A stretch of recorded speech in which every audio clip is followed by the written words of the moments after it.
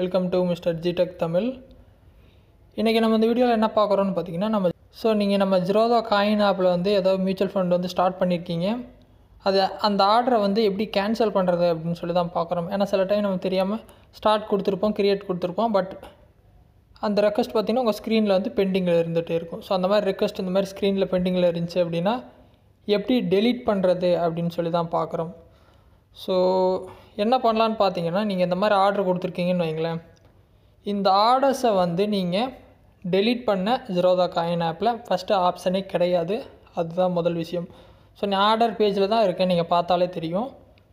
Only payment பண்ணுற option மட்டும்தான் இருக்கும். டெலீட் பண்ணுற ஆப்ஷன் உங்களுக்கு கிடையவே கிடையாது. சரியா? ஸோ தெரியாமல் இந்த மாதிரி எனபிள் பண்ணிட்டீங்க அப்படின்னா நீங்கள் என்ன பண்ணணுன்னா ஸோ அந்த மாதிரி பெண்டிங்ஸ்லேயே காட்டிகிட்டே இருக்கும். நீங்கள் எதுவுமே பண்ண வேணாம். கிட்டத்தட்ட ஒரு அஞ்சு நாள் கழித்து இதுவே போயிடும் ஏன்னா அஞ்சு நாளுக்குள்ளே பேமெண்ட் பண்ணலை அப்படின்னா அவங்க என்ன பண்ணுவாங்கன்னா இந்த ரெக்வஸ்ட்டை டெலிட் பண்ணிடுவாங்க ஸோ அந்த மாதிரி தான் இந்த ஆர்டர்ஸை வந்து நீங்கள் கேன்சல் பண்ண முடியுமே தவிர இதில் நீங்கள் ஆர்டரை டேரெக்டாக கேன்சல் பண்ணுறதுக்கு ஆப்ஷன் கிடையாது. ஸோ அதை ஞாபகம் வச்சுக்கோங்க.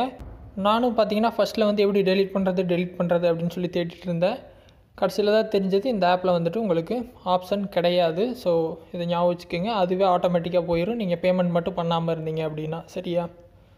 ஸோ அந்த வீடியோவில் ஏதாவது டவுட் இருந்தால் வீடியோ கமெண்ட்ஸில் சொல்லுங்கள் இல்லை வேறு ஏதோ டவுட்ஸ் இருக்குது உங்களுக்கு வீடியோ வேணும்னு தோணாலும் கமெண்ட்ஸில் சொல்லுங்கள் நான் வீடியோ போஸ்ட் பண்ணுறேன் ஃபஸ்ட் டைம் சேனல் வந்திருந்தால் சப்ஸ்கிரைப் பண்ணி சப்போர்ட் பண்ணுங்கள் இன்னொரு யூஸ்ஃபுல்லான வீடியோவில் உங்களை நாளைக்கு சந்திக்கிறேன். நன்றி வணக்கம்.